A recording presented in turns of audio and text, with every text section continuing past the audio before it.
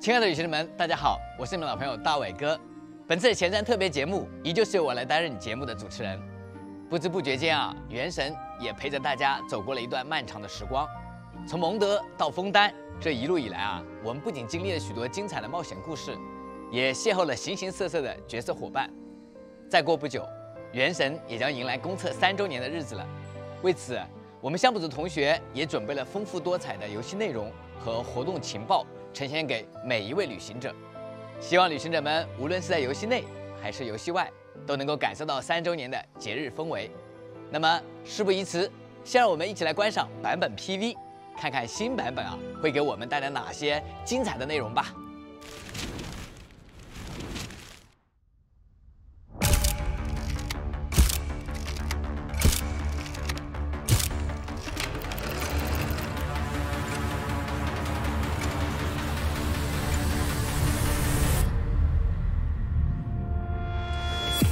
The fortress of Meripede may seem like a prison, but it should in fact be regarded as a gathering place for exiles. I will arrange false charges against you so that you may secretly investigate inside the fortress. The truth is, this place has a lot of hidden rules. All of our informants, including the ones that had infiltrated the guards, suddenly vanished. Something bad will happen during lunch on the third day. A mysterious box? A bottle of crimson liquid? So, you know those pipes that make strange sounds? Don't ever, ever go near them at night. Sooner or later, all will pay the price for their arrogance.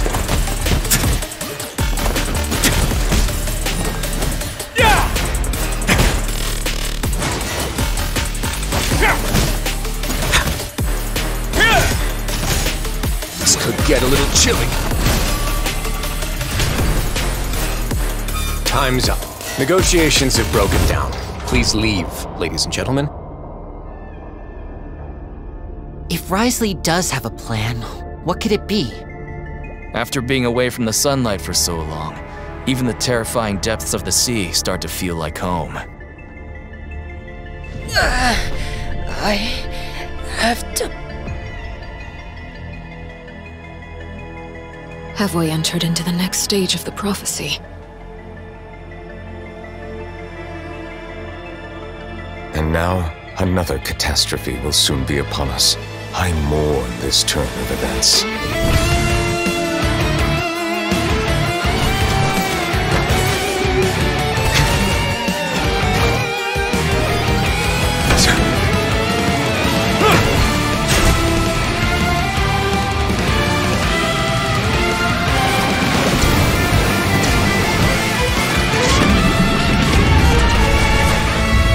Find it difficult to express my emotions because I cannot fully understand myself. I'm confident that we'll find the meaning of our existence one day. Rumors saying that you were born from calamity. You inherently bring danger to those around you. Why should we trust this species from who knows where anyway? Melazines can't be trusted! That goes for Nervalette too! There's only one thought on my mind. Only Innocent. through bloodshed can their debt be repaid.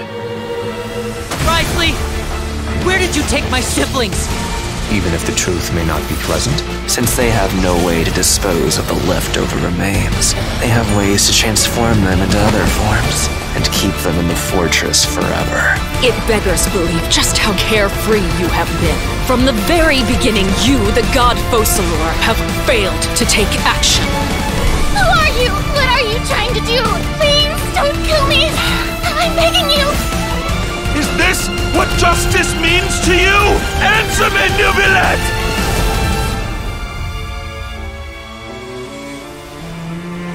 You will see much in the human world, from the delightful to the depressing.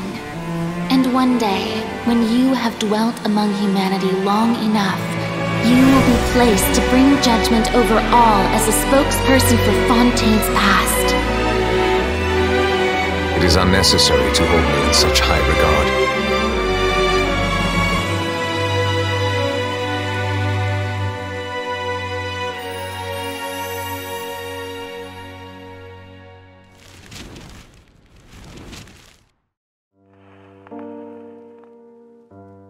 行者们，欢迎回来！不知道有没有和我一样的旅行者，每次看完新版本的 PV 啊，都会对其中出现的角色和故事非常的好奇。所以今天啊，我也依旧是邀请了项目组的小伙伴，我们的战斗设计师叶黑，来给我们介绍新版本中的相关剧情以及角色的情报。非常感谢大伟哥的邀请，旅行者们大家好，这次会由我来向各位旅行者介绍剧情和角色的相关内容。哎，欢迎欢迎！哎，自从做完这个四点零的模式任务以后啊，我一直想知道之后的发展。哎，趁着这次机会啊，叶黑啊，先和我们聊聊四点一版本的模式任务好了。好，先问一下大伟哥，还记得四点零相关的版本剧情吗？有印象，不过还是叶黑啊，帮我们简单回顾一下吧。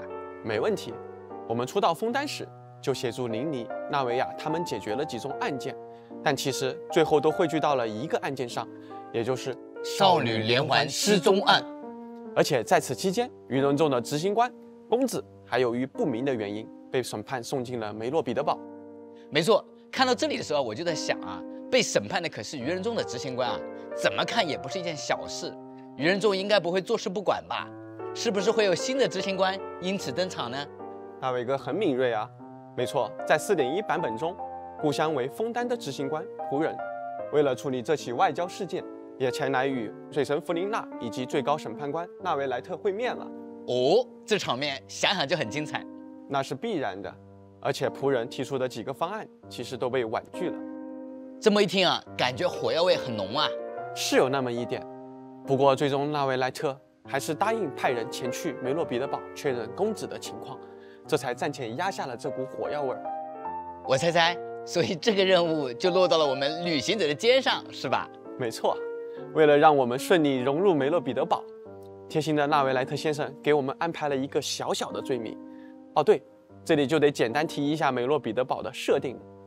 因为梅洛彼得堡并不是简单枫丹监狱这一个概念，它名义上并不隶属于枫丹的司法体系，一直都是以自治的形式而存在，所以纳维莱特才需要让我们伪装成囚犯下去调查。这次潜入的任务啊，看上去还挺新鲜的。在四点一版本中呢？枫丹的魔神任务第三幕“向深水中的晨星”和第四幕“预示胎动的中烟之客”也将会开启。旅行者需要在梅洛彼得堡暗中调查一系列的事件，以及追寻公子的行踪。值得一提的是，这个过程中，旅行者会得到一些老朋友的帮助，也会遇到一些新的面孔，比如梅洛彼得堡的公爵莱欧斯利以及护士长西格文，展开一系列的冒险故事。各位旅行者们，请敬请期待呀！看起来啊，四点一版本的故事重心都是在梅洛彼得堡呀。旅行者啊，如果想要在这里调查，我猜一定会与梅洛彼得堡的最高负责人莱欧斯利进行一番斗智斗勇。叶黑啊，不妨具体为我们介绍一下这位公爵呢？作为梅洛彼得堡的管理人，莱欧斯利确实很有一些手段，既能照顾得到弱势的群体，也能镇得住强势的恶棍。在他上位后，实施了一系列的改革，让梅洛彼得堡运作的焕然一新。也正是因为如此，梅洛彼得堡并不是像大家所想的那样如监狱一般，甚至有一些刑满释放的罪人都不愿意离开了。听你这么一说啊，这位公爵可真是不得了啊！不过啊，梅洛彼得堡作为全枫丹罪人的流放地啊，只有高超的管理手腕，我感觉可能不够。想必他也拥有令人信服的实力吧？没错，作为犯人的流放聚集地，梅洛彼得堡多多少少总会有一些不服从管理的犯人。这时候道理讲不通，就只能通过其他方法以理服人了。而莱欧斯利自然也不缺乏这方面的实力。由于莱欧斯利之前当过地下拳手，因此拥有高超的战斗技巧。这种战斗方式啊，倒也确实符合我对他的想象。在这种情势复杂的地方，拳头有时候才是硬道理嘛。搏击意味着力量的碰撞，但也常有故意卖弄破绽给对方，然后猛然回击的表现。作为一个冰元素的法器使用者，莱欧斯利的普通攻击和重击都能造成冰元素的伤害，元素战技则会强化他的普通攻击，同时损失生命值。不过不用担心，这些损失的生命值正是他用来引诱对手进攻和抓住观众眼球的关键啊！在莱欧斯利的生命值较低时，他的重击则会被大幅的强化，并在命中敌人后大量恢复自身的生命值。看完他的技能啊，我能够感受到他独特的战斗方式了。占据优势时对敌人穷追猛打，然后故意卖出自己的破绽，让敌人觉得有机可乘。之后啊在危机时一发逆转，玩弄敌人。大卫哥的描述可真是生动形象啊！他的战斗方式与他的处事风格可谓十分的相似。此外，莱欧斯利也非常擅长调度资源，在合成武器突破素材时，莱欧斯利也有一定概率会获得双倍的产出。这位公爵大人可真是多才多艺呀，管理、战斗样样精通，真是太厉害了。没错，不过虽然莱欧斯利做事很有一套手段，但梅洛彼得堡毕竟是建立在枫丹的水下，常年见不到阳光，在监狱的阴暗角落里，依然会有邪恶在滋生。在四点一版本中，莱欧斯利的传说任务“守御犬之章”也将上线，旅行者可以在任务中进行了解。A word of advice don't break the law. Huh. Is there anything else? Uh, yeah, seriously, don't break the law.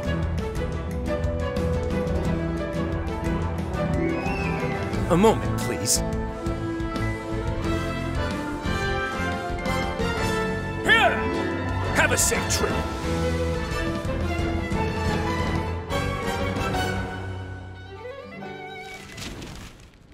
Perhaps we could take a walk by a riverbank or somewhere similarly fluvial. Hmm. Silence! Be sanctified.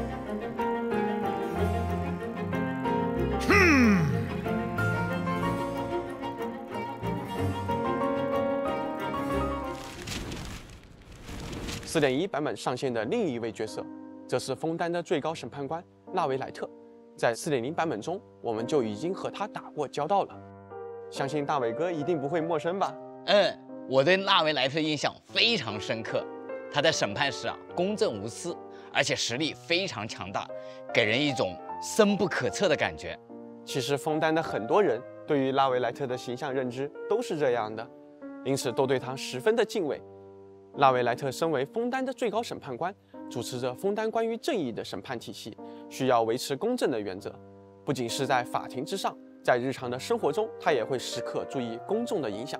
比如，他会尽量避免与他人有私交，以及有流程外的协作，防止被人怀疑司法体系的不公。他对自己的要求啊，可真严格啊！不愧是最高审判官，严于律己啊！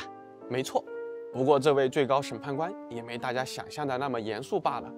他其实也是有自己的爱好和生活的，比如拉维莱特就有一个品水的爱好。虽然他离开枫丹的次数屈指可数，但是他已经品尝过来自世界各地的名泉了，都是从外地送过来的。而且在品完之后，他还会发表自己对各地饮用水的评价，比如他觉得蒙德的水清廉，里约的水回味悠长等等。我一直以为啊，只有茶可以这么品啊，想不到只是普通的水啊，纳维莱特都能品出那么多花样，可真是长见识了。纳维莱特既有对公的一面，其实也有对私的一面。他十分喜爱美露星，认为他们是一个善良美丽的种族。纳维莱特甚至在枫丹法规中加入了一条巧妙的法律，对美露星的称呼必须使用人格意味的“他”，而不能用“他”。没想到这位最高审判官还有这样的一面。不过美露星确实十分可爱，我十分理解他的行为。其实还有一支直接隶属于最高审判官的特别刑侦机构——竹影庭，绝大多数雇员都是由美露星组成的。这倒不是因为纳维莱特偏心，因为美露星们的特殊视觉能够看到人类难以观察到的东西，能帮助纳维莱特收集各种证据进行审判。但这个特点让在竹影庭里工作的美露星们很容易受到犯罪分子的威胁。纳维莱特自然也不会对这种情况坐视不管。在4.1版本中，旅行者还可以通过体验纳维莱特的传说任务“潮涌之章”，了解更多关于他的故事。哦，纳维莱特亲自出马，那这群犯罪分子可以有苦头吃了。在4.0版本中啊，他的实力可给我留下了深刻的印象。没错，纳维莱特虽然平时并不会轻易的出手，但他过人的实力是毋庸置疑的。惹恼他绝对不是一个明智的选择。纳维莱特的攻击方式是围绕重击展开的，在一段时间的蓄力后，纳维莱特的重击将持续消耗生命值，并释放汹涌的洪流，持续对前方直线区域内的敌人造成水元素范围伤害。纳维莱特当前的生命值越高，重击造成的伤害也就越高，而他的元素战技元素爆发则可以生成一种叫做远水之滴的球体，重击在蓄力时这会自动吸收前方区域内的远水之滴，恢复它的生命值，并缩短蓄力所需的时间。此外，当纳维莱特处于队伍中时，队伍中自己的角色进行水下冲刺的移动速度也会得到提升。纳维莱特攻击方式啊，还真是简明直观，凌厉但又不失优雅。那么两位新角色的情况，我们也都初步了解了。我们接下来再为大家介绍一下新版本的活动起源安排吧。相信肯定很多旅行者已经等候多时了。好呀，在4.1版本中，纳维莱特与胡桃将会在第一期活动起源中出现，并提升获取概率。在第二期活动起源中，除了新朋友莱欧斯利外，我们的老朋友温迪也将迎来复刻，并获得概率 up。值得一提的是，胡桃和温迪也会在这个版本的活动中与大家见面了。更多信息也会由我的同事稍后为大家揭晓。同时，新版本还会有一些新的武器加入到武器活动起源中。感谢夜黑。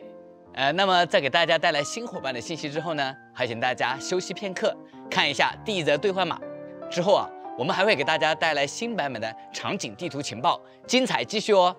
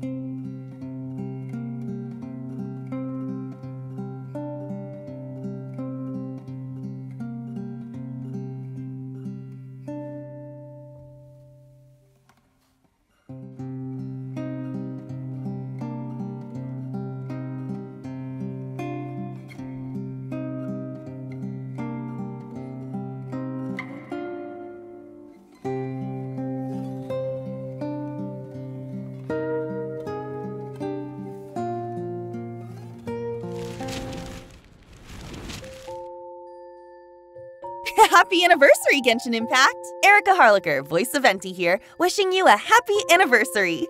Me and a few of my fellow voice actors have decided to celebrate by sharing some Genshin inspired treats. I'll be making a Mondstadt inspired twist on an autumn classic, an apple cider float. The best part about this recipe is that it doesn't need any fancy kitchen gadgets, so just get rid of those. All you need is a good saucepan and the ingredients listed here. If you're a younger traveler, make sure there's an adult around to help you with this, okay? First, let's prepare our spices. Start by zesting your orange. Next, pour your favorite non alcoholic apple cider into a medium saucepan. If you don't have cider, unsweetened apple juice works just as well. Then toss in your spices along with the orange zest and set your stove to medium high. Once it starts to bubble, reduce to medium low and let it simmer for 15 minutes. When you can smell the aroma of warm spices, take it off the heat and remove your spices with a fine mesh strainer and leave it to sit for another 10 minutes, or until just warm enough to handle. Then pour into your favorite heat safe cup. On its own, this is a drink worth singing praises, but we're going to add a scoop of vanilla ice cream, a dollop of whipped cream, and fresh grated cinnamon, lifting it to new heights. We're using vanilla ice cream, but if you really want to let your Mondstadt spirit soar, you're free to use other flavors like cinnamon, pecan, chai spice, or even pandan. Light and creamy, sweet and spiced, this float is a duet of duality. Mmm, that's good. Happy anniversary, Genshin Impact! What's an anniversary party without some warm, gooey, cheesy goodness? Hey folks, I'm Damon Mills, the voice of Linny. And I'm Inaris Quinones, the voice of Lynette. Today, we'll be celebrating with a classic, Brie en croûte. Don't let the fancy name fool you. This dish is surprisingly easy to make. All you need is some brie, store-bought puff pastry, and your favorite fillings. We'll be using bacon, walnuts, and apricots for ours. The full list of ingredients is right here. After preheating your oven, dice the bacon into small pieces. Then toss it into a pan over medium heat, cooking it until it turns crispy. Chop the nuts and dried apricots into fine pieces. Then mix them in a bowl with your crisp bacon and resist the urge to eat this stuff by itself. Next, place your puff pastry onto a baking sheet lined with parchment paper. Cut the brie in half horizontally and place one half of your brie on top with the cut half facing up. Top the cut brie with your fruity, nutty bacon mix and top with the other half of brie, kind of like a sandwich. If you have any extra, just lay it in a circle around your brie. Use your beaten egg to coat the pastry. Then fold it up over the top of your brie like you're wrapping a present. You want to completely cover the brie with no gaps in the pastry. Twist the top and pinch it shut, removing the excess pastry dough. Finally, coat the pastry's exterior in your egg wash and bake until golden brown and flaky. Cheesy, savory, and a little bit sweet, brie en croûte is perfect for sharing. And the best part is that you can fill it with just about anything. Try it with rosemary and figs, caramelized onion and ham, or if you're really daring, sweet chili pepper, green onion, and lobchon. Like a good magician, it's versatile, elegant, deceptively simple, and best enjoyed before it disappears. Oh, that reminds me. Who's bringing dessert? Don't worry, I called in some experts.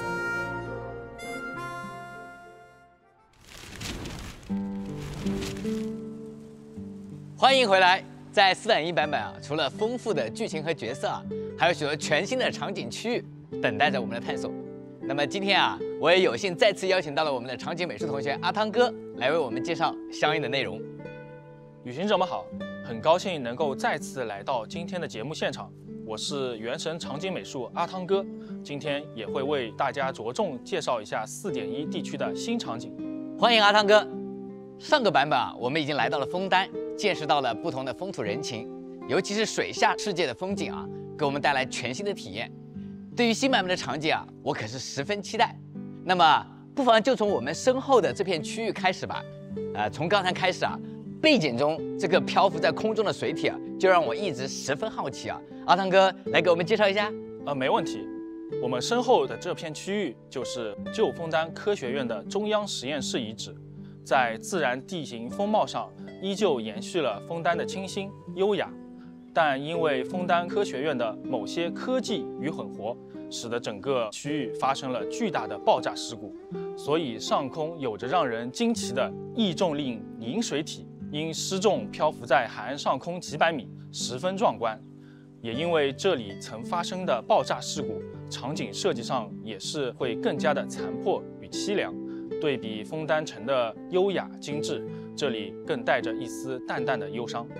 哎，确实啊，一眼望去啊，都是残破的这个遗迹啊，可以想象啊，当初的这个爆炸事故啊是有多么惨烈。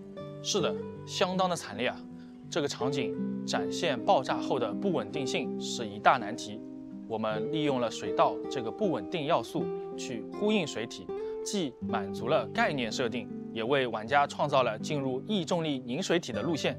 这个异重力凝水体啊，我有印象，在四点零版本的前瞻节目中有提到，好像是可以进去的，对吧？没错，旅行者们是可以设法进入其中的。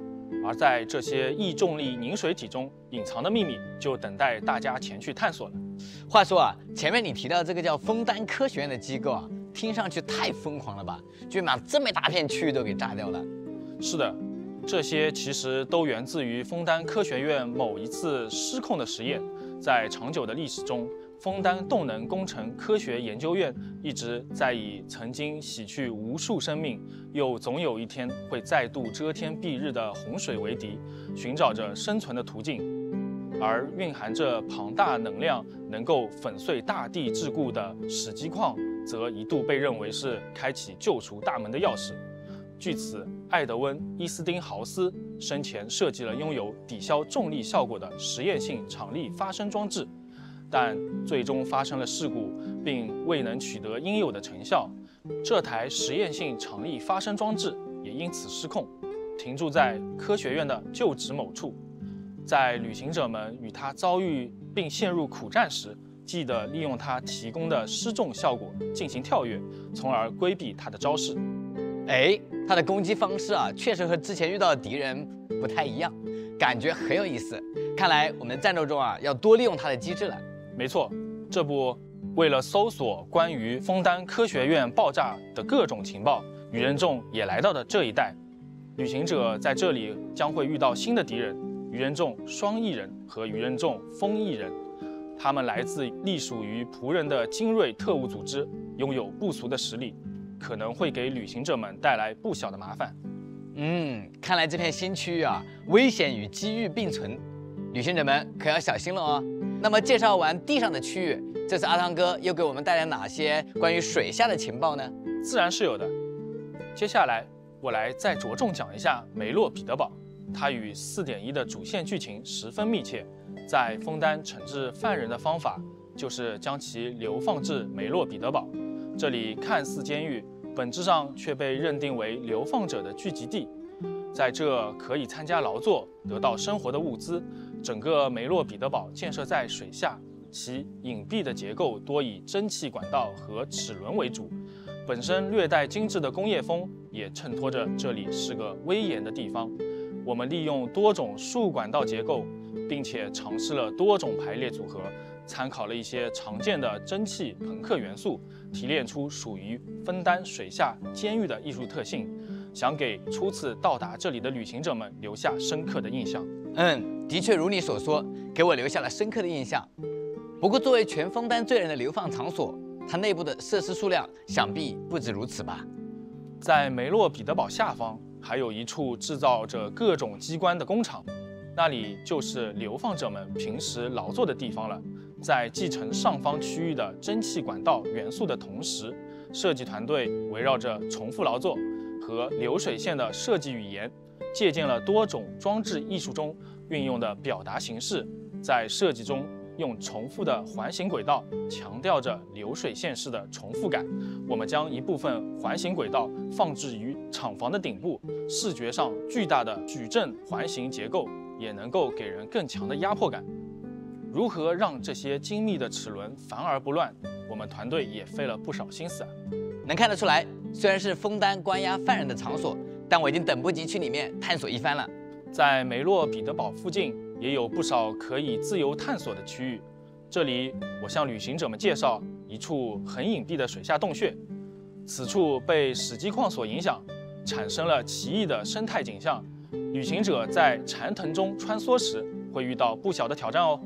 哎，这非常符合我对水下世界的幻想，各种神秘的区域和奇异的植被啊，总能激发我的探索欲望。不过，在这片新的探索区域，想必我们也会遇到一些新的敌人吧？大伟哥猜的没错，矗立在远海异种顶端的另一位霸主，自泡泡海马成长而来的顶尖掠食者千年珍珠峻灵，就潜藏在这片区域的某个岩窟之中。它进化出了幻兽的形姿。头部下方的异海珍珠更是浓缩了雷元素的结晶，让它能够使用更加猛烈的元素攻击，也拥有更强的防御能力。此外，在探索水下区域时，我们还会遇到执行警戒、巡弋任务的新型发条机关，旅行者们也要小心哦。感谢阿汤哥啊！听完你的讲解啊，让我对新版本更加期待了。一下子看了那么多内容啊，想必大家也有些累了，不如让我们稍作休息。接下来啊，我们还邀请了其他研发组的同学为我们带来更多的内容分享。各位旅行者，不要走开哦！Happy anniversary, Genshin Impact! I'm Brittany Cox, or as you might know me, Der Prinzessin herself, Fischl. With me are my loyal subjects. Ben Pronsky, voice of Oz, main Fräulein. And Josie Montana McCoy, voice of Kaya. Not a subject, but happy to help anyways. Today, we'll be celebrating Genshin's anniversary by making chocolate ganache tarts. a royally decadent dish for such an occasion. In our Princessen's benevolence, we've included a list of ingredients here. First, gather your chocolate cookies in a food processor or plastic bag. Then, crush them like your enemies until naught but the finest crumble remains. Then mix with sugar and melted butter. Stir until you have a consistency like wet sand. Firmly press your crumbs into the bottom and sides of a pie tin, then bake in an oven at 350 degrees Fahrenheit or 177 Celsius for 20 minutes or until it's dry and firm. Once the crust is cooled, coat the interior with a layer of raspberry jam. For the filling, simply bring your cream to a bare simmer, then pour it over a heat safe bowl filled with your chocolate, along with a pinch of salt and a half teaspoon of espresso powder. Let the hot cream stand for about a minute, then stir it all together until you have a ganache as smooth as Kaya himself. Pour the ganache into your tart shell and allow it to firm up in the fridge before crowning it with a royal arrangement of raspberries. And for an optional flourish, try watering down some raspberry jam with a bit of lemon juice or warm water until you have a thin glaze. Then brush it over your raspberries. This will lend your berries an iridescent shimmer. While darkly regal as a certain prinzessin, this tart is also quite flexible. You can substitute raspberry for orange marmalade and candied citrus, or nix the jam and top with hazelnut praline for a treat that's perfect with coffee. And if you don't want to worry about slicing your tart, substitute the large pan for parchment lined muffin tins to make perfectly portioned miniature tarts. Mmm, truly a dish fit for royalty.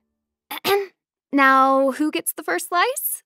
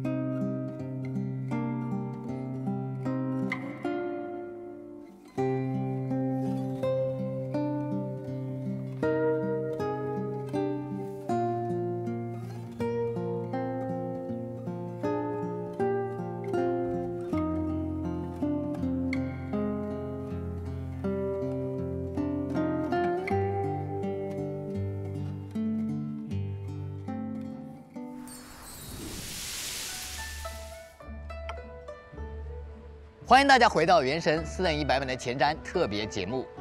在《原神》公测三周年之际，璃月也迎来一场盛大的活动，而我们研发团队中的系统设计师也应邀来到了节目现场，为我们介绍新版本丰富多彩的活动内容。来和大家打个招呼吧。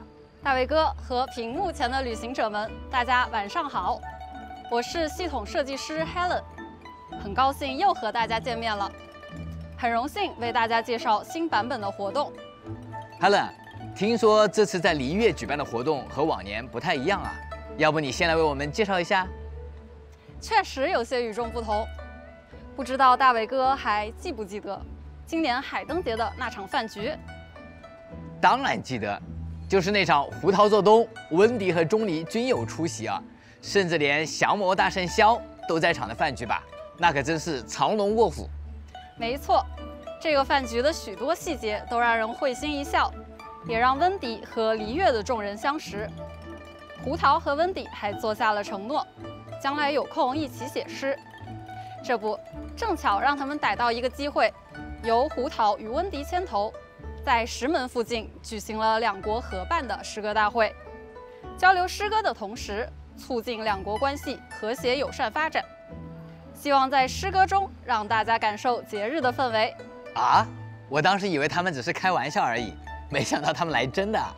不过，温迪作为吟游诗人，他的创作水平应该相当高啊，而胡桃的打油诗也独具一格嘛。不仅仅是他们，还有来自璃月和蒙德的其他伙伴也一起参加了大会，十分热闹。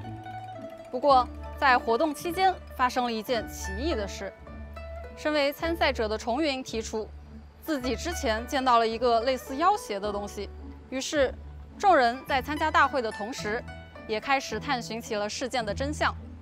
诗歌大会举办的那么隆重，想必与之相关的活动也很丰富吧？这次。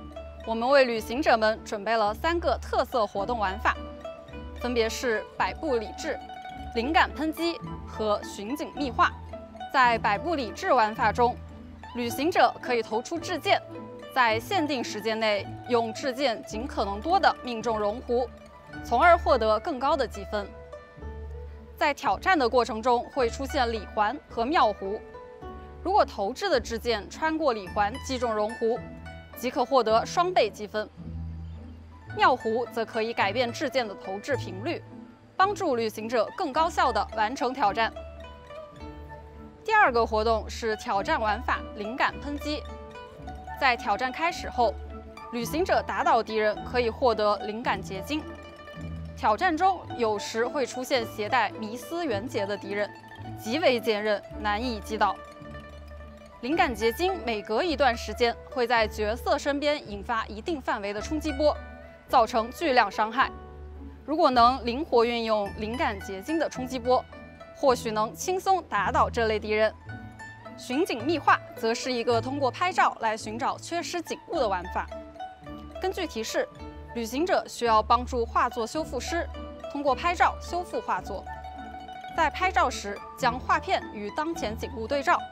寻找画片上缺失的景物，找到后即可将对应景物记录下来，并获得奖励。在本次游水运诗集活动中，旅行者们可以参与三个活动挑战，提升诗歌会热度，从而获取专属四星法器“无垠蔚蓝之歌”及其专属精炼道具等丰富奖励。这次的活动还真是丰富啊，尤其是百步理智活动啊。让我想起了小时候经常玩的这个投壶游戏，这次啊，我也可以在游戏中再体验一把了。是啊，希望这次的活动能让旅行者们感受到诗歌大会欢快的氛围，与蒙德和璃月的大家一起度过令人难忘的时光。说到蒙德，可莉又活跃了起来呢。怎么？难道可莉又因为炸鱼被秦团长抓了吗？可莉这次可不是闯祸，反而立功了。她在游玩的过程中。偶然发现国酒湖里突然出现了从须弥来的入侵鱼类，为了维持生态平衡，骑士团需要处理这些入侵物种。在此期间，可莉为了不添乱，只能待在蒙德城里。为了不让可莉无聊，丽莎发明了一个有趣的小游戏。在活动《嘟嘟可轰轰奇遇记》中，旅行者们可以陪同可莉一起玩蹦蹦炸弹。通过操作嘟嘟可投出不同类型的蹦蹦炸弹，击败角角鱼大军，书写嘟嘟可打败鱼鱼入侵者的大冒险。火花骑士就像火热的小太阳一样，每次都能给我们带来惊喜呀！这次竟然还发现了入侵物种。其实有类似困扰的不只是蒙德，在枫丹也有一些本应只存在于实验室内的奇妙生物，突然出现在枫丹的各个水域中。旅行者可以通过极光斜彩活动，帮助为此事忙得焦头烂额的商人基肖恩，通过回收枫丹水下各处的荧光紫水母，消除生态隐患并获取奖励。保护生态，还能欣赏枫丹水下风光，真是一举两得呀！是的，在枫丹苍金区东南侧的水岸处，我们还可以体验到挑战活动——人生的波峰与波谷。在这个挑战活动中，旅行者可以帮助枫丹研究员测试超高压冲击器，通过合理把握停止增压的时机，提高超高压冲击器释放的超高压冲击波的伤害，来击败敌人。同时，旅行者可以根据出战队伍的角色数量和等级获取载荷，用来装配更高等级的增益模组，挑战更高难度的敌人。在4.1版本中，除了常规的热斗模式更新，七圣召唤的驻境演练也将再次开放。旅行者可以选择不同的附加条件，获取积分来领取奖励。最后，在4.1版本，我们还会开启精通乙勇活动，需要培养角色的旅行者们不要错过哦。辛苦研发组的同学给我们准备了那么多有趣的活动，看得我都眼花缭乱了，已经迫不及待想去试玩一番了。另一方面，我们也一直在关注旅行者们的日常游玩状况。随着游戏运营年份增长，一些原本看起来合理的前期和常规设计，如今却成为了旅行者们体验中的痛点。因此，我们在4.1版本对前期的内容设计做了部分调整。首先，我们加强了冒险等阶突破任务的提示，在旅行者们的派蒙界面和冒险手册向导页都增加了相应的引导。在突破任务中，我们缩短了地城的通关耗时。移除了部分高难度敌人，来帮助新手旅行者更好地完成突破任务。这个好，其实啊，当初我第一次做突破任务时啊，确实用了挺长的时间啊。这次的调整啊，应该能帮助到不少的旅行者。不仅如此，我们还对每日委托做了一次重大调整。随着游戏内容逐渐丰富，在每日委托之外，游戏内还有大量玩法等着旅行者体验。因此。我们在4.1版本推出了冒险历练系统，在这个系统中，旅行者可以通过完成任务、开启宝箱、获取收集物、参与活动的方式来获取历练点。除了原本的通过完成每日委托获得奖励，旅行者也可以通过累积历练点来换取委托奖励。每天通过两种方式累计最多领取四次委托奖励。每日委托奖励被领取后，仍可进行任务。想要体验任务或者完成成就的旅行者，可以继续去完成这些委托。历练点将在服务器时间每天的凌晨四点清零。太棒了！我很早就喜欢有类似的系统呢。当开启新区域或者活动时啊，总感觉要做的事情太多啊，自己时间不够用。那现在有了这个功能啊，我在体验其他内容的同时啊，还能够获得委托奖励，真可谓是一举两得啊。没错，我们也希望旅行者们可以更多的享受游戏中的其他内容，得到多元化的体验。除了版本活动与系统优化，在公测三周年之际啊，我们依旧为旅行者们准备了一些神秘的奖励，来庆祝这个特殊的日子。Helen 也来为大家分享一下情报吧。为了感谢旅行者们一直以来的支持与热爱，在4.1版本期间，签到活动“观赏流华”将会开启。旅行者们可以通过每日签到，获得最多十枚纠缠之源以及其他道具奖励，不容错过。同时，我们还会通过邮件的形式为旅行者们额外奉上总共一千六百原石和四个脆弱树枝，以及两个特殊纪念小道具：便携式空气动力胶质炮生发器和柔柔小章。此外，在4.1版本更新后。游戏内商城的首充双倍状态也将会重置，具体信息旅行者们可以留意官方后续的相关公告。好耶！相信大家已经和我一样十分期待4.1版本的到来了。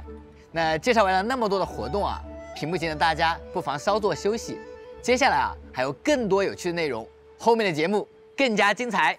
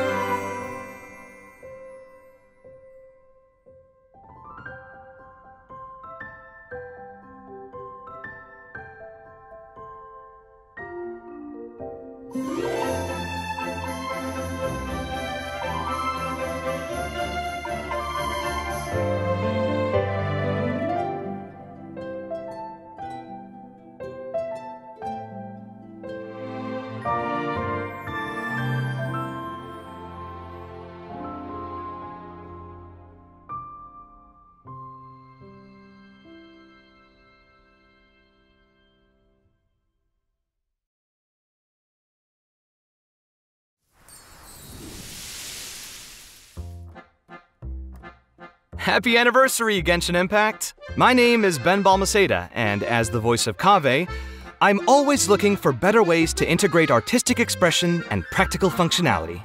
I'm so happy to be celebrating the three year anniversary of Genshin Impact. We know fans are celebrating worldwide, but what's a party without decorations?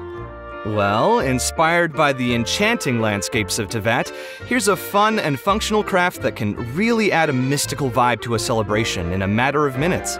If you have any mason jars lying around, they can easily be transformed into fantastical yet functional lanterns.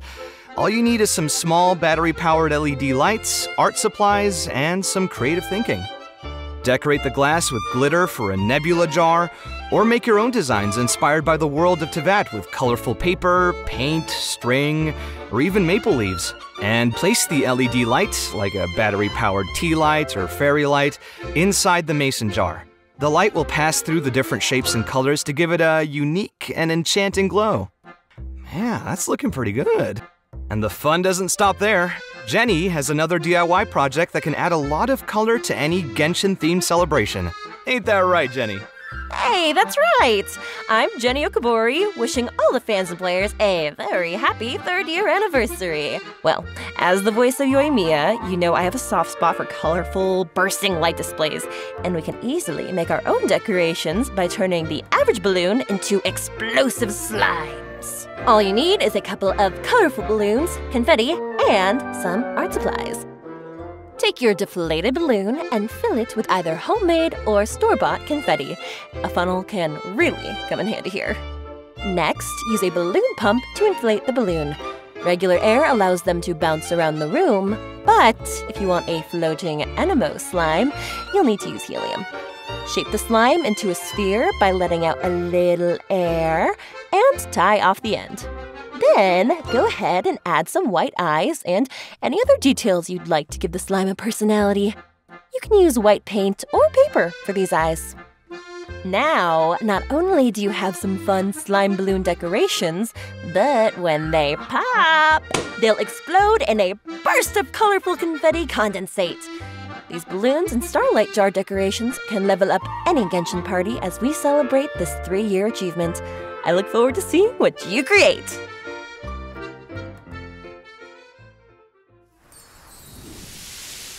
欢迎回来，在今天这个特殊的日子，能够和屏幕前的旅行者们共同庆祝此刻，实在是一件值得高兴的事。从2020年公测至今啊，相信大家在提瓦特大陆上也留下了属于自己的独特回忆啊。这三年以来啊，不只是各位旅行者，我们研发团队的同学也同样经历了一段宝贵的时光，想要和大家分享。坐在我身边的呢，是大家老朋友 Michael。Michael，趁着今天这个机会，不妨为我们讲讲。项目组内部的故事吧。感谢大伟哥的邀请，旅行者们好，很高兴又与大家见面了。今天我也很荣幸能代表项目组的同学为大家分享内部的故事。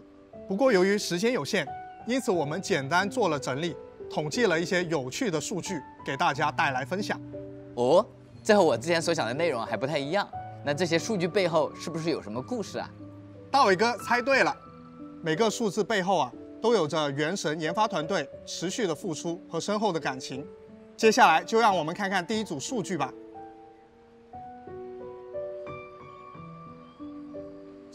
一千多万啊，这可是个大数字啊！Michael，这个数字是什么意思啊？这个数字其实是原神研发以来，我们的 IP 团队在游戏内外创作的叙事文本总字数。我们游戏中的提瓦特大陆是一个架空世界。这里汇聚了各种文化、创意、艺术。从零开始构建它的世界观并不容易。原神 IP 创作团队的同学以自身热情与才华，铸就了一个个鲜活生动的角色，编织了一个个扣人心弦的故事，构建了一个宏大精美的世界。细心的旅行者可能会发现，在游戏中处处充满着细节。随意拾取的一本书籍，不经意间获取的武器。副本中掉落的剩遗物，他们的背后甚至也有属于自己的精彩故事。其实，为了把一个架空世界填满的足够有真实感，光靠游戏内的文本是不够的。在许多内容呈现给旅行者之前，IP 团队就要先行构思几个版本，甚至几年后的概念设定。对于一些要向美术、策划、海外本地化团队表达的设定，也需要撰写足够细腻、详尽的文档，以供参考。因此，在游戏内所呈现的内容，大概也只是浮在创作海洋的一角冰山。确实啊，这个数字不仅是代表一场游戏的这个制作啊，更是一次文化的积淀，一次创意的盛宴。当然，海量的文本创作也只是原神内容的其中一个侧写。下面这个数字看起来可小多了，但它也是我们和旅行者一路走来的证明之一呢。七十四，比起第一个数字啊，这个数字是有点小了。哎，不对不对，Michael，你说这是我们跟旅行者一路走来的见证，那它一定是一个随着版本累积下来的数字，对不对？大伟哥已经快要猜到了。其实啊，这是直到四点一版本为止。包括刚才我的同事介绍的纳维莱特和莱欧斯利在内，原神已经向旅行者推出的角色数量。没想到啊，在不知不觉间啊，我们已经邂逅了那么多的这个角色伙伴。不过啊，谈起原神呐，游戏中性格迥异的角色确实被大家津津乐道。没错，一个引人入胜的开放世界，角色是必不可少的。原神中的每一个角色都有着独特的背景故事和情感世界，通过对话。剧情和任务呈现，旅行者能够更加深刻地了解角色。这种情感共鸣不仅让旅行者与角色建立起情感联系，也为游戏增添了更多层次的情感体验，使整个游戏世界更加丰满和有趣。此外，角色也是构成游戏中战斗体验的重要一环。每个角色都拥有独特的战斗技能和神之眼元素，这不仅丰富了游戏的战斗策略。也为旅行者们提供了更多的选择和挑战。呃，正因为这些角色伙伴啊，才让提瓦特大陆的世界增色不少，使得游戏啊不仅仅是简单的战斗和探索，更像是一场情感丰富的冒险之旅。哎，那么让我们看看下一个数据吧。那经历了之前的两个数字啊，我觉得自己是肯定猜不出来的。Michael，快为我们公布答案吧。其实这个数字还有一个单位。二百一十五 G，它指的是截止四点一版本游戏内所有最高精度美术的资源总量。二百一十五 G 啊，这个大小是有点吓人呐。Michael，你给我们讲讲背后的故事吧。可能大多数旅行者不太能判断这个数字所代表的工作量。原神是一个依赖卡通渲染、营造幻想氛围的游戏，这就意味着几乎所有的写实类素材，包括照片修改的贴图。真人动捕的动画都是没有办法直接应用到游戏中的。这二百一十五 G 的美术资源是原神的原画师、建模师、动画师、特效师等同学们经过精心构思或实地取材，然后重新亲手制作出来的。是啊，有的时候我晚上路过我们美术同学的工作区啊，发现有些同学还在工作，还挺过意不去的。但同学们这么辛苦啊！平时还是会非常自豪地给我转发他们最近画的新场景啊、新角色，就像是介绍自己的孩子一样兴奋。但是啊，大家非常努力创作的同时，也需要考虑到玩家的设备是否能承载这样庞大的资源量。所以我们的技术团队面对如此规模的资源，也是付出了相当大的精力，对不同的设备、不同平台进行性能评估和分级，对资源进行不同等级的精度拆分和管理。优化加载和包体构建策略。其实最近我们看到不少的旅行者留言，觉得枫丹版本的包体占用空间依旧是太大了。对此，我们也是深知做的还不够，之后会进一步探索其他的优化手段，给大家带来更好的体验。辛苦各位研发的同学们了。刚才我们看到的是原神游戏内的一些有趣数字，那么接下来这组数字就跟屏幕前的各位有些关系了。哎，这个数字啊，我有些想法。迈克，你既然提到和屏幕前的大家有关，我猜猜是不是《原神》全球玩家的关注数呢？没错，目前《原神》全网的关注数已经超过了九千九百五十三万人了。好耶！不过说实话，虽然猜对了，但是这个数字啊，依旧让我十分惊讶。在当初立项的时候啊，我们可能都没有想到能取得今天这样的成绩啊。有那么多的旅行者走上了提瓦特的大陆，与我们共同创造美好的回忆。是的，这个数字是旅行者们对我们原神团队的认可，也是最好的回报，同时也督促我们不能懈怠，因为我们承载着旅行者们的期望。话不多说，让我们继续。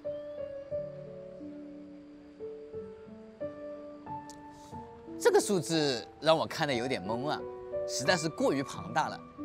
我随便猜猜啊，这是不是播放量或者点赞数什么的？看来大伟哥对这类数据啊特别的敏锐。这是《原神》发布的官方视频内容在全网社区的总播放量，目前已经达到了四十亿次。其实，在这一些内容创作的过程中，我们同样遇到了非常多的困难。如何更好的把游戏内容通过视频形式展示给大家，并不是一件容易的事情。每当创作同学觉得疲惫或者没有灵感的时候，看看各位旅行者在评论区对内容的支持，就又会充满干劲了。而结果也是如此，只要我们创作出优质的内容，我们就一定会获得回报。是啊，旅行者们的支持与热爱，正是我们创作的动力啊。接下来，让我们分享最后一组数据。不知道屏幕前的旅行者们有没有猜到呢？既然已经到了这个环节的最后，我就不卖关子了。开服至今，原神官方每个版本都会举行相关的视频二创活动。这个数字是目前全网参与的总人数，迄今为止已经达到了一千一百五十万了。嗯，有趣的是啊，这个大数字啊，一点都不让我意外。其实啊，原神能够取得今天的成果啊，光靠我们研发团队肯定是远远不够的。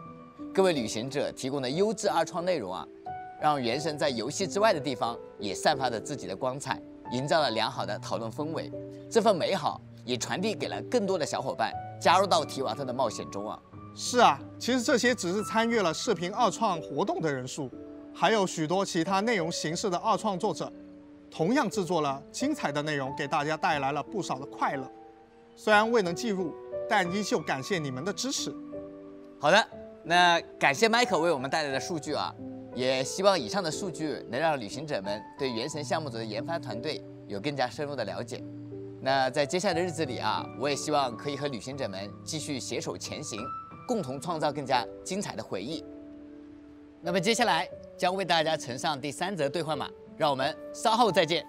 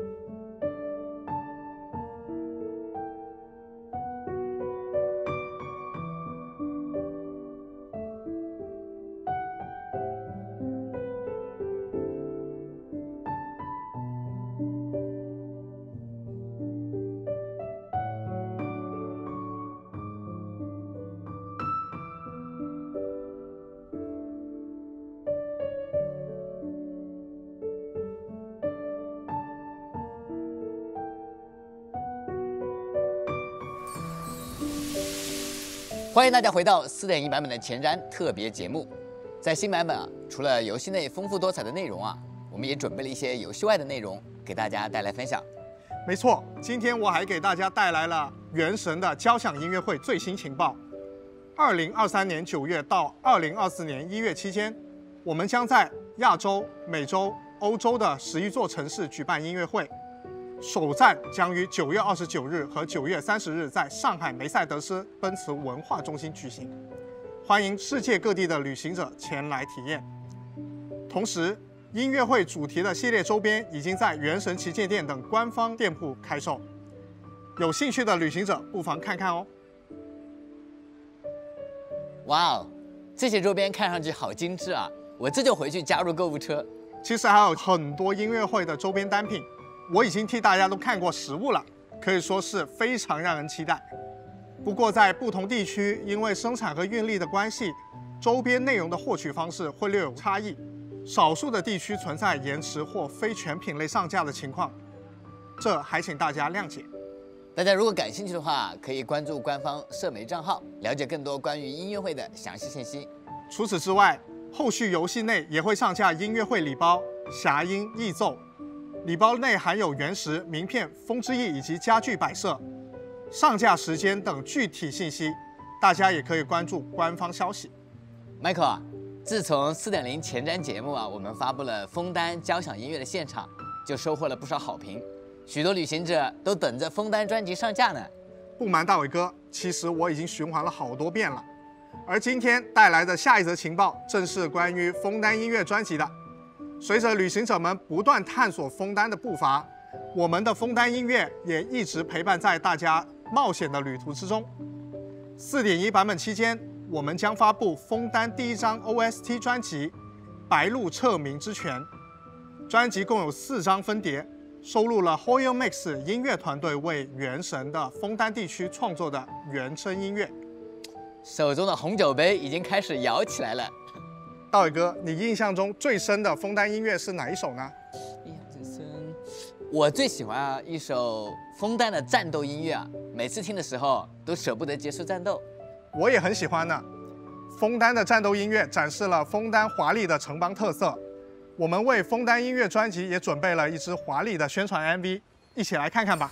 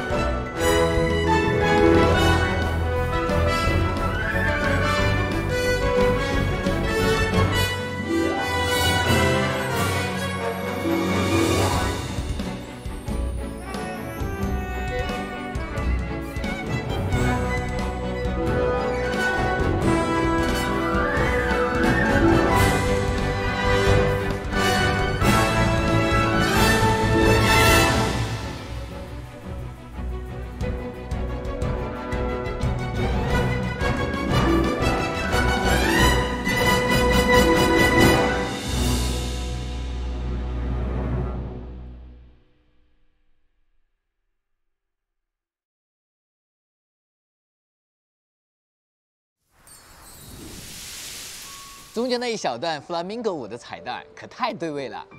看完这支 MV 啊，我对枫丹专辑更加期待了。是的，枫丹音乐的制作幕后将会在专辑上架后呈现给各位旅行者。期待 Hoyan Mix 团队的同学能给我们带来更多有关枫丹音乐的创作和设计方面的介绍。其实我们团队一直都在致力给旅行者们带来更丰富、更有趣的体验，无论是线上还是线下啊，都能够感受到提瓦特大陆的美好。那希望我们准备的这些游戏外的衍生内容啊，能给大家带来一些小小的惊喜。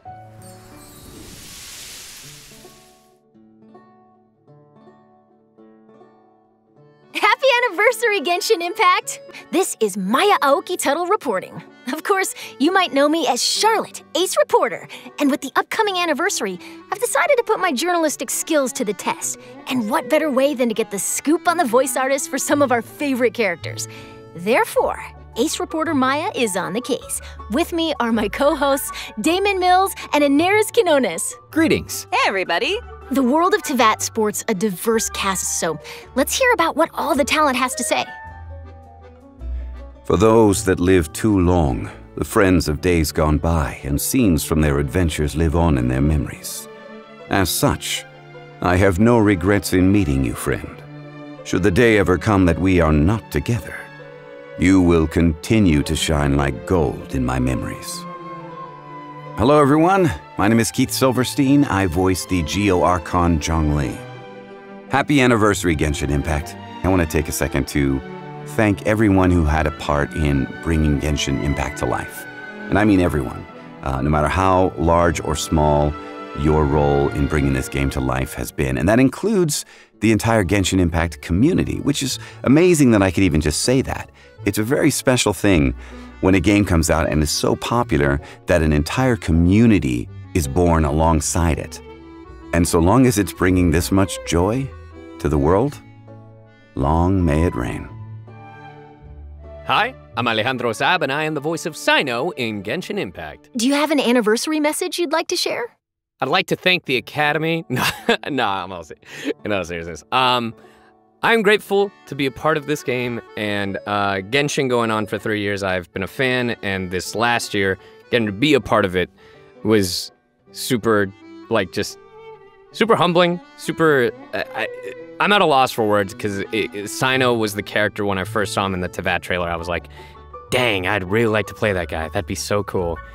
And it, it, happened, and it it was just so cool, and I it just makes me really happy again to the opportunity to be this guy.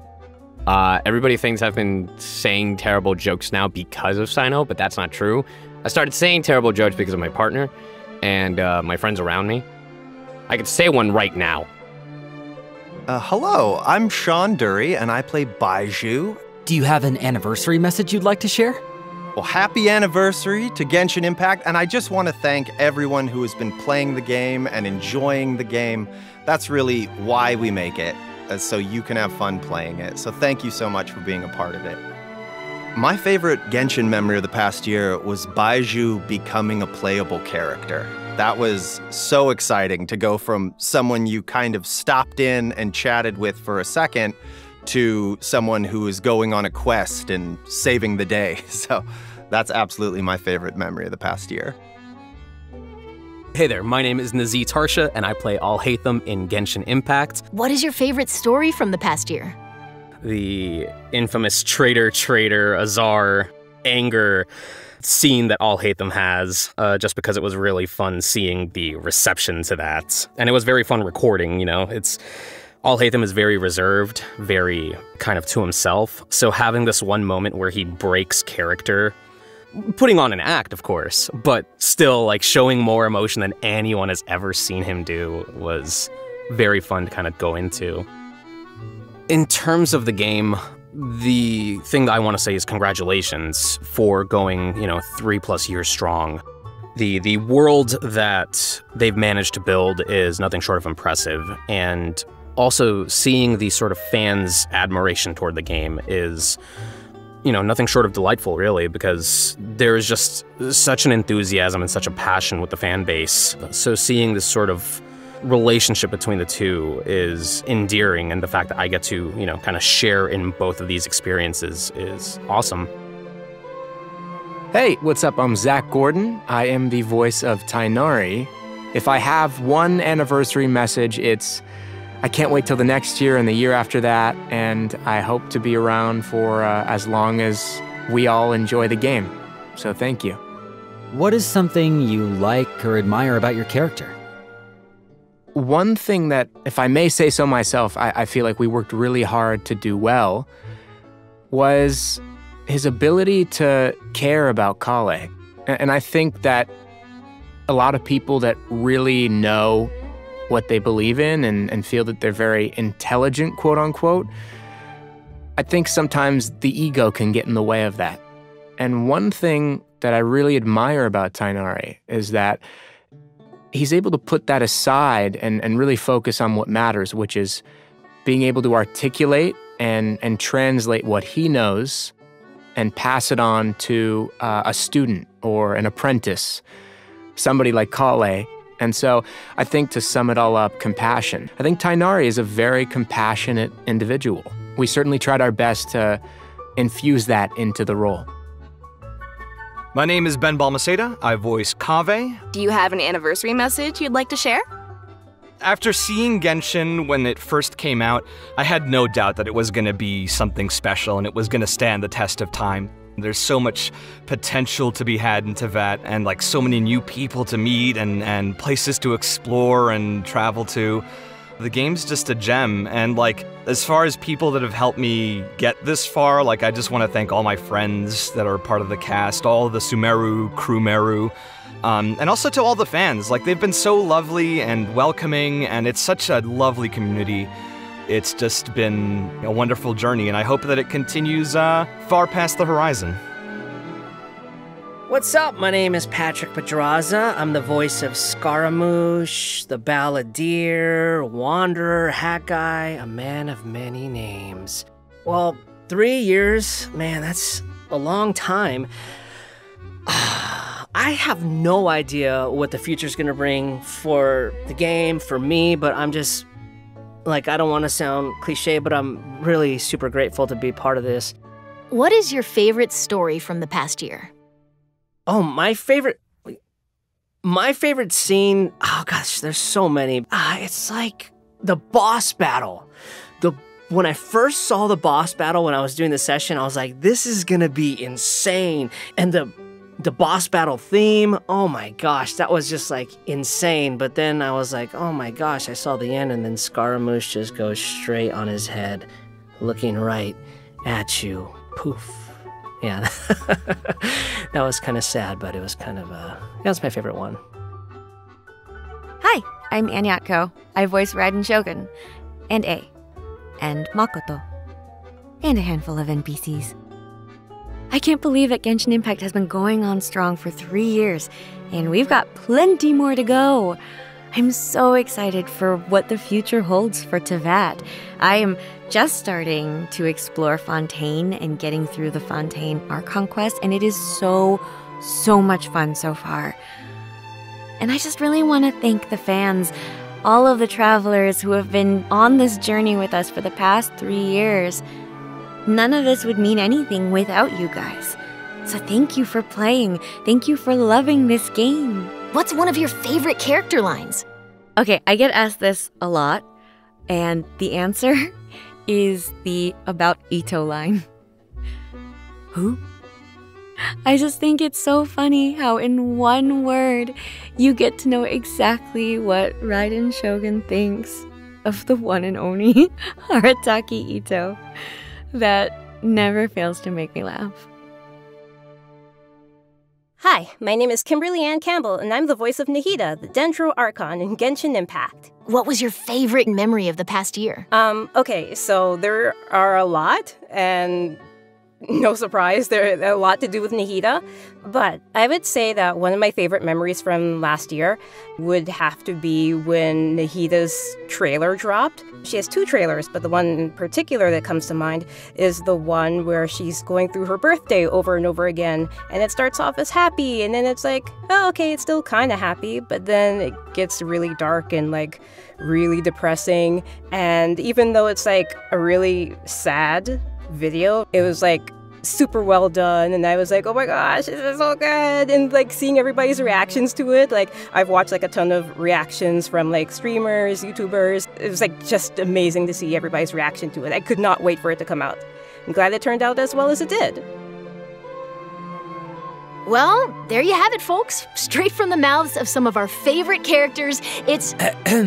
Isn't there someone you've forgotten? Two someones to be exact. Oh, oh, oh, oh, I, I was totally about to get to you guys. I swear. Right.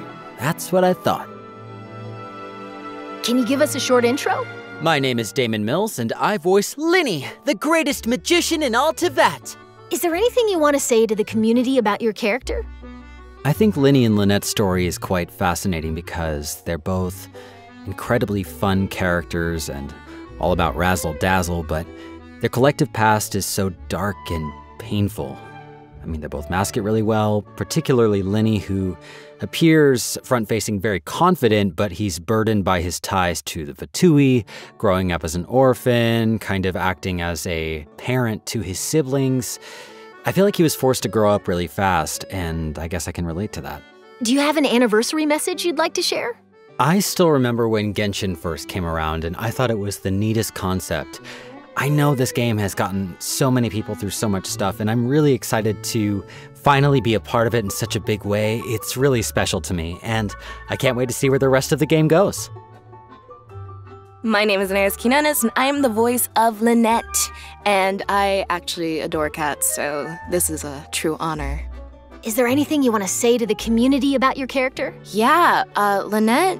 Lynette is really fun for me because you know she is the the deadpan kind of I guess emotionless character archetype, but we did try to elevate her from that. Um, so it's really fun uh, trying to, you know, keep that feel, that base feel of her being deadpan, but also adding enough nuance so that she is an interesting character. Do you have an anniversary message you'd like to share? Yeah, three years. That's crazy. Um, I'm very excited. I'm excited to see future characters. I'm excited to see more Fontaine um, and more Lynette, of course. Uh, and um, yeah, I want to thank you guys for being so supportive and stuff. Um, it's uh, it's been a blast, and I can't wait to see you guys enjoy the rest of it. There you have it, folks. For real this time. This is Ace Reporter Maya signing off.